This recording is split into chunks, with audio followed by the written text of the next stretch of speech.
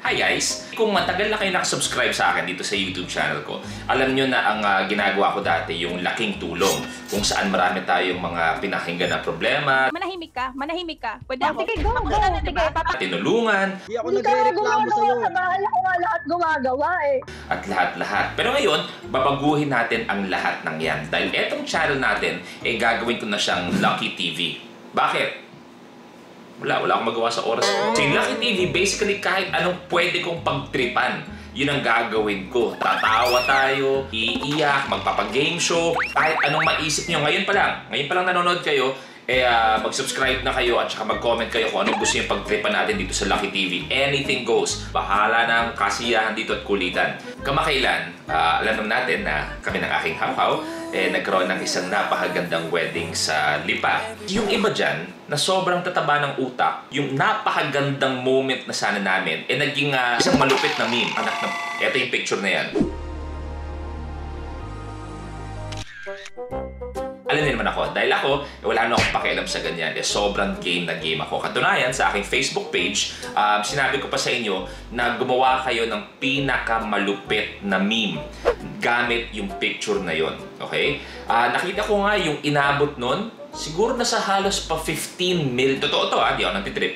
Mga 15 million or siguro dumadami pa yung, ah, yung reach nung ah, post na yon. So, ibig sabihin, napakarami sa inyo ang pinagtripan ang picture ko. Merong malulupit, merong mga laugh trip talaga, may bastos, meron naman na medyo corny ng konti. So, ang gagawin ko ngayon sa unang-unang episode ng Lucky TV, eh, ah, hinagilap ko lahat ng mga tingin ko malupit na memes at ah, magre-react ako ang aking team. Yes, para malinaw po, yung team ko, eh, magkaiba po ang team ko sa team ni Ma'am Jessica Soho na palagi niyang pinapapunta sa mga fini-feature nila. Gusto ko gumawa ng isang episode kasama si Sir Ed Calwag. Sir Ed Calwag, kung saka sakali man, sana Sir Ed, baka gawa po tayo ng isang episode dito sa Lucky TV. Pag-uusapan natin kung anong gagawin. Hindi ako pumunta rito para makipag-away. Magre-react nga ako dyan sa mga memes na nakita ko doon sa post ko, pwede ako magbigay ng prize. Ah, alam niyo naman sa Lucky TV, di lang to puro kulitan, may kasiyahan to. Okay, magbibigay ako ng prize sa tingin ko mga best memes. At the same time, magre-react ako kung gaano ka-laugh trip para sa akin ng mga memes na yan. Bago ang lahat, syempre, ang kasama ko dito ay ang rason kung bakit ako umiyak. ba? Kaya nga nagkaroon ng ganong klaseng reaksyon dahil sa aking ah, binibini, walang iba, may hawhaw, Miss Jessie Mendiola Manzano. Yeah! Yes! Okay. Hello guys! Tuwa ako kasi magiging Lucky TV na ang iyong vlog. Kasi para lang din makita nila yung ibang side. Parang wala naman ako ibang Hindi, like kung ano kunwari yung sa yung mga hilig mo sa buhay, kung paano ko talaga in real life. Kasi syempre lahat ng mga tao nakikita lang nila yung makulit na side mo, yung madaldal na side mo. Alam mo naman yan, may one time ka sa akin mamaya. Pero kung isipin mo, technically, parang hindi ito yung unang episode ng Lucky TV eh. Yung unang episode yung nagpag-game show tayo. Kung isipin mo lang naman, yun yung una natin pinost Oo, na... at saka mas madalas pang mangyayari yun. Oo. Kasi yung Lucky TV, di ba, plinano mo yan para sa ating mga viewers at sa ating Mga netizens. Okay, kaya game, how Ang unang-unang meme, yung pumiyok yung kasama nyo sa choir. okay, well, unang-una na, Okay, magiging honest ako ah. Ito naman, syempre, syempre Lucky TV na to, sabi mo mga mas makilala ko. Honestly, hindi ako nakaka-relate. Kasi hindi ako pumipiyok. Akala ko, hindi ka nakaka-relate kasi never ka nag-choir. Never ako nag-choir kasi all the Kailan ka way soloista ako. 1996 yung huling piyok ko. Tapos the rest, lahat ng mga singing performance ko, live yun. I don't wanna close my eyes. I don't wanna fall asleep 'cause I miss you, babe. And I don't wanna miss again. Yun pa yun. Ano? Hindi ako pumipiyok. Trained ako sa Europe. Ito ang next meme. Ayot, ginawa niyo akong endorser ng face shield. okay. Nananahimik ako sa kasal ko, mga bad trip kayo. Eh, ikaw naman yung nagpasimula ng memes. Pero technically, tama yung ginawa ninyo. Kasi dapat naman talaga naka-face shield. Pero yung ginawa namin kasi is uh, nag-quarantine kami, tsaka all tested kami sa aming wedding. Pambihira tong susunod eh. Yung mas hinandaan pa yung lamay mo. Siya sa birthday mo, ikaw na nasa langit. Actually, mas bad trip yan. Siyempre, pag nasa langit ka na, isipin mo gano'n ka bad trip yan. Ito, araw ng kasal ko, pinatay mo pa ako. Pero okay lang yun kasi pag kinakasal ka, feeling mo nasa langit ka. Kasi isang malaking blessing yun dahil mapapakasalan mo yung love of your life. malupit. Kita mo paano niya sinalo yun? Yan ang nagagawa ng may sense sa Lucky TV. Dahil kung ako lang nandito sa Lucky TV, baka na, pinagmumura ko pa yun. Anak na, palabra talaga ako tsaka bastos ha. Okay, next naman, ito. Yung alam mo ang katapusan na ang pagiging fuckboy mo dahil ikakasal ka na. Dahil dyan, wala akong ano dyan. Alam ng mga tao to, unang kita ko kay Luisa tsaka nung unang friends pa lang kami, sabi ko, ito talaga para siyang kuyang manya. May intindihan ko pa kahit papaano yung mukhang fuckboy eh. Kasi di ba yung mga nagpapakute ko no, nagpapatawa, ay ganyan ganyan. Mukhang fuckboy kasi swabe ka eh. Oh, yun, yun, You have your way with girls, you Nay- have your words, Yun, naiintindihan ko. talker. Naiintindihan ko, pero yung mukhang manya ka pag may dadan, gumagano. Ayun. Oo, eh, yun. Hindi na, parang demonyo na naman yun. Kaya parang nasa liban yun. Sabi ko, Ah. pademonyo ka na nun. Mukha lang siyang ganun. Pero hindi talaga. Ako lang magsasabi na hindi naman din talaga. At saka siguro san, mas sanay ako na ako hindi diskarte yan. Alam mo na yan. Hindi mo lang tatapos dun. Woo! Siyempre, eto, bibigay to. It's... Ito, galing kay Joyce Malianao. Yung akala mo utot lang, pero may sumama na pala. Ay, napaka-bad trip niyan. Nangyari na ba sa'yo? Na-poops ka sa classroom? May Paano? classmate ako, ganun nangyari. Pero naranasan ko yung kaya mo maglakad ng normal, tapos yung sunod na lakad mo, magkadikit na yung Ako, tuhod mo. recent- Kasi nakagano ako. Nakadungo. Nakagano na. Tapos, Lapit ka, pakita mo sa nakagano na, di ba? Yung hindi ka na nagsasalita, feeling mo pag nagsalita ka, sasabay siya. Hindi, tapos ang pinakamatindi doon, pag papalapit ka na sa bahay mo o sa pupuntahan, Oo, doon yun na yung yung gumagano parang siya. moment. Pinag-usapan natin. Lahat naman tayo. Itong next, yung tapos na ang kontrata mo, pero sabi ng amo mo, airport close. Yan, ito siguro feeling ko may ano to, may kinalaman sa mga ah, mga OFWs natin. Ayan, ayoko nga kulitin yan kasi parang naiintindihan ko yan sa napakarami mga OFWs. Susunod yan. Yung hindi mo naman pinangarap maging groom. Pero Okay yan eh. Naging blonde siya. Yan yung mga ang daming gumawa niyan eh. Pero mas trip ko nga yung nag-edit na ginawa akong babae. Ito yung favorite naming lahat. Yung naipit yung Nasubsob. mo. Isa yan sa pinakamasakit na pwedeng mangyari sa isang tao. Makanto yung paa mo. Kaya yung siko mo pag nababangga, o kaya yung tuhod. Ibang level yan. Oo. Nari nag-CR ka sa gabi, tapos sabi nila lahat ka makakanto yung paa mo. Isa yun sa pinaka-bad trip. Galing no? Kasi sobrang na... Oo nga, so ibig sabihin, nag-effort siya mag-paint pants. pants. Tsaka yun, nasa, nasa parang garden siya. Effort yan. Thank you Galing, very no? much. In fairness talaga. Ito yung pinakasumikat na meme, in fairness. Pinost din to ni Kathy. Kathy, Nakatita naman si Kuya Felix, hindi ka na din daw ni... familiar. Kathy, Gonzaga, Morada. si Mikey Murada, kilala ko. Pero yung Kathy Gonzaga, parang familiar na lang sa akin. Ito naman, yung di ka pa nga tapos sa bayarin sa kasal, may nakikita ka na namang papalapit sa'yo ng mga gas, na mas gastos. Ang ibig sabihin yung bride, yung mas gastos. Eh, sino lang ba yung papalapit sa'yo sa kasal? Ay, Kundi oo yung nga, oo nga, oo nga. Hindi naman, hindi naman. Di ba? Pero nakakagulat din kahit pa paano. Alam niyo maging, di ba, practical dyan.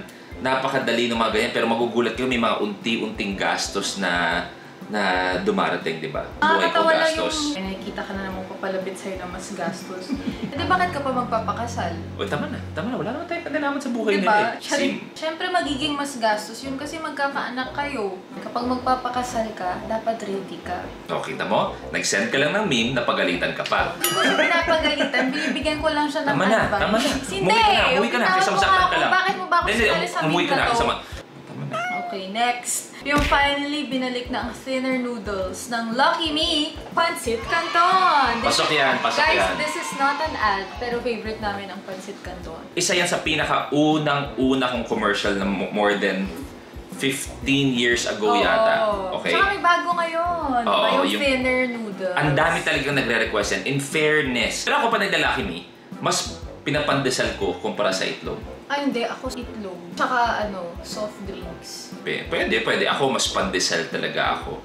Itlog. Carbs on carbs. Oo naman. Yeah. Sarap tong itlog kaya tas yung medyo ano pa, soft ano lang, soft boiled. Well, yung soft kasi depende sa gising mo. Sampalin kaya kita. Okay lang, asawa naman na tayo. Never, never mong gumagawa. Pero iba nagsisalted egg, di ba? Okay ka na. Ah, papa-workout muna. Okay, next. Workout. Ngayon ko lang na Magpapa-workout muna para matakam ka kumain. Kala ko parang maging salted egg. Kailan ba ako naging ganun kabastos? We? Nag-workout ka para masarap yung kain mo pagkatapos. Sampalin kita eh. Doon naman. Hi, Bakit umabot hi, tayo sa sakitan? Yes, ano po? Okay, next naman. Ito, may hawak ka na PS4 4 game. game. Cyberpunk Cyber- 27 2077 kung hindi ako nagkakamali. Ayan. I've never heard of this game. Ah, sorry, hindi ko nalaro yan. Mas Call of Duty ako. Yun, adik na adik ako sa Call of Duty. Pag alam niyang Call of Duty, time ko, kanya-kanya muna kami. Pero gawin nga nating vlog yun, no? Gusto ko maging gamer. Ang dami palang kailangan. Oo, Gusto ko na para set mag, up. mag-set up. Sina ano, di ba? Kaibigan ko yun. Sina Alodia. Alodia. Eh, nung tinanong ko yung ibang mga friends ko kung ano mga kailangan, akala ko dati, parang may download ka lang na software, tapos isang camera, tapos marirecord niya. parang, Hindi, kailangan parang mo dami ng daw. maraming setup. Oo, so- Ayan, sa mga gamer friends natin Oo, na sa mga- netizens, sa baka mga- pwede tulungan nyo si... Oo, gusto ko mag-set up ng gamer. Puro Oo. Call of Duty lang ilalaro ko. Kung anong mga kailangan niya, paki-DM na lang siya. Mm-mm. Next naman, ito, Ma! Sasama ako, Ma! Hayop kayo. Never na ako naging ganun. Kung ganun ko ng bata ka, kailangan kasama mo palagi pamilya mo pag aalis sila. O kaya mo mag-isa. Ako kasi kaya ko mag-isa eh. Kaya ko mag-isa. Kung baga nung bata pa ako, may sarili akong mundo. I'm sure ikaw din. Ako wala kasi akong choice. Kasi- Lalo na ng mga Ay, oo. 4, 5, 6 years old ako. Dahil ang uh, airmat ko nun si mommy, eh nag-ano siya, nag, uh, nag-show, mga Vilma, ah, VIP. So, hinahayaan niya ako sa bahay kasi noong time na yun, nag-trigonometry na ako. Okay, next. Bakit di ka naniwalang genius ako nung bata ako? Ito, si How How at saka si... Asian cutie. Asian cutie, si Albert. Sa buong mundo, eh ah, wala na mas titindi pa sa charisma tsaka sa mga wise words and motivations ni Asian Cutie. In fact, si Asian Cutie, si Albert, nandun siya sa kasal natin. Nasa kasal, Oo. nasa prenup natin siya, at saka nasa kasal din natin siya. Bakit? Dahil si Albert Nicolas ay, kapatid, ni Bob Nicolas. Na napakagaling na video. Yes, silang dalawa. Ako Sobrang talented nagkakamali. nilang parehas. Oo, Oo sobra. nga, no? Kung hindi ako nagkakamali, yung ginawa nating prenup sa Aman, Mm-mm. yung opening shot, di ba yung tumatakbo tayo? Mm-mm. Naka-drone yun eh. Kung hindi ako nagkakamali, si Albert yung nagko-control nung time na yun. Wow, Kung hindi, ako, wow. kung hindi ako nagkakamali. Tsaka, grabe yan, nagko-concert yan sa FB. Kung siya si Asian cutie, ano ka? Asian birdie. Okay, ito, next meme. Yung nanay mo recto, pero yung napangasawa mo mendiola. Ito, sobrang dami ang nag-send sa akin ito. Oh, ito. Sign, legit Batangas Lomi served here. Tapos may repolyo at carrots. Alam niyo kasi parang ano yan eh, very, very protective ang Batangas sa lomi nila. The same way na sa Pampanga naman, Culture sisig. Kumbaga pag may menos ka o dagdag ng recados, medyo napapaano sila. Parang, Napapaisip, hindi, sure hindi na lomi? Oo, hindi Oo. na lomi yan. Kunwari sa Pampanga, di ba, sinasabi nila na ang sisig ba talaga may itlog o wala. Kayo ba, ano tingin nyo, ang, ang sisig ba dapat may itlog o wala? Mas original daw ang wala kung tama yung pagkakalala ko. Mas So, gusto ko wala ang ano. At saka gusto ko sa sisig talaga yung maanghang. pero sa lomi, ayaw mo na medyo may lagkit, no? Ayoko. Pero masarap ang lomi. Sarap ang lomi. Kasi yung huli kong kinain na lomi, ang lagkit eh. Oo. Pero yun talaga daw talaga yung lomi, di ba? Oo, yung nakikita mo. Yung sa sobrang lagkit, nung ginunong ko nga yung Oo, lomi, yung sumama lahat eh. Pati yung bowl. Oh, ang linis ng bowl, walang naiwan. Talagang pagkadukot kong gano'n, isang malaking bloke Ganun ng ko lomi. na-imagine na pagka Yun. ginanon mo, magkakasama lahat. Walang may iwan, as in parang bago yung bowl. Lahat ng lomi hawak mo sa gano'ng katindi, gano'ng kalagkit. Ba, ano nagpapalagkit doon? Ano nga nagpapalagkit sa lomi? Comment nyo na lang. Next naman, nababanyo ka na, tapos nasa kabilang isla ang CR. Ramdam ko yan. Natamaan ka ba? Ramdam ko yan. Di, actually, nangyari din sa akin yan. Sa ito, ito, totoo to ah. Nag-diving ako dati. Medyo naparami ang kain, sumakit yung tiyan ko. So, bumiyahe kami ng malayo-layo. Hanggang sa may isang resort na yun yung unang-unang tanaw namin. So, hanggang sasabi ko sa, ano ko doon, Uy, Berting, ikaw kasama ko doon. Sabi ko, Berting, kilala mo ba yung may-ari niyan? Sabi niya, ay, opo, boss. Berting, papagamit ng CR. So, basically, pumunta ako sa resort. First time ko doon sa resort na yun. ah naki-jebs ako. So, nag-jebs ako. As in, yun lang. I-shoutout mo yung resort. Um, Buseo. um, Buseo sa nila. Yun yung ah, yellow na resort sa Oo. Buseo. ah, sa may mainit side. Oo. Um, Buseo. Hindi ko alam kung mapanood ng mga owners to. Um, sorry, at one time po nakigamit ako ng CR sa inyo. Tapos sabi nung ah, isang staff sa akin, yung nag-lead sa akin papunta sa CR. Sabi sa akin, Sir, sabi ko, yes po. Sabi niya, sana next time magstay kayo dito, hindi yung nakitain lang kayo ah. so maraming maraming salamat sa Buseo. May-imagine ko na yung itsura mo. yung tayo-tayo ka na. Yun ba, Tapos pinalakad ka pa. yung, nasa kabilang, yun yung lakad mo na magkadikit na yung tuhod mo. Oh my gosh, okay. Sa sobrang pitpit mo ng puwet mo kahit utot, wala na lalabas. Di ba? So sobrang fit-fit mo, nag-isa na lang yung puwet mo. Oo, oh, yun na na. Nag-isa na yung, na. nag-isa na yung kaliwa at kanang side mo. yung butt cheeks. Ano ba pinag-usapan natin? Okay. Ito, mabiblip to kasi medyo may kabastusan to ng konti. Yung umipit yung... Pubic. Yung umipit yung kasi nasa jeep ka. tapos punuan. Pakiblip na lang. Siya laging word na yun. Oo, hindi, mo mag, hindi ka makakagalaw niyan. Kasi minsan kailangan mo ayusin yun eh. Oo, sa mga lalaki, kaya kayo adjust ng adjust, di ba? Iba pa yun. Iba pa yun. Ba't tong itsura mo dito? Yung napaiyak din ang makeup artist Yung mo. napaiyak din ang makeup artist mo. Ano ibig sabihin? nun? Makeup artist ko ay si Peps Silvestre. Siya yung kasama ko sa lahat Sa ng akin yan. naman ay si Kusimo. Umiyak ba si Peps nung wedding ko? Oo. Ayun na pala yung last meme. May isa pa yung actually, yung ang daming pinabili pero nakalimutan mo yung BioFlu. May pinanggalingan na video yon actually na nag-viral dati. Pero syempre, yun isa yun sa mga kinatuwa ko. Pero para sa akin, isa din sa sobrang lupet, ulitin ko lang, is yung pinaganda ako. Nakita mo yun, di ba? Puro babae ako. Oo. Maganda ba ako? Ang cute-cute mo nga dun. Kailangan mo siguro palitin lang ng konti yung ba Eh, sana binago mo na lahat. Sana minasilya mo na lang yung mukha ko. Yung face mo din kasi talaga, very manly. So, hindi ko ma-imagine na babae ka. Pero nung nakita ko yung mga memes, ang galing lang na nagawa ka nilang babae. Iba na talaga technology ngayon, no? Oo. Na, kaya sa mga, nako, na mga nagpapalit-palit ng mga face sa internet, mag-ingat kayo. Uy, mag-iingat kayo. Ito, medyo paminsan-minsan pwede magseryoso. Yung tinatawag nating deep fake. Oo, yung mga deepfake na Ingat kayo, ah, napakadali na, Kasi pwede na sobrang nilang dali. manakaw yung Ipatong mo. yung kahit Tapos mag-live sila. Wow, ingat kayo Diba? dyan sa mga deepfake na yung ah, pwede siya gamitin for political reasons, Oo. for blackmail. For ano, character assassination. No, yeah, di ba? Kunin lang yung mukha mo, ipatong somewhere, tapos gumawa ng, say, scandal o ganyan. So, ingat lang kayo sa deepfake, kayo sa mga. Gusto ko lang din palang i-add na, kasi marami nagdi-DM sa akin, tsaka nagko-comment sa posts ko naman, na bakit daw ako pumapayag na gawing meme yung mga moments natin sa wedding. Hmm. Kumbaga parang it's something um, sacred. Sacred, ayan. Something like that. Ah. So, pero para sa akin kasi, it's not really a bad thing. Hindi naman ako napipikon. I know naman eventually it will die down. No.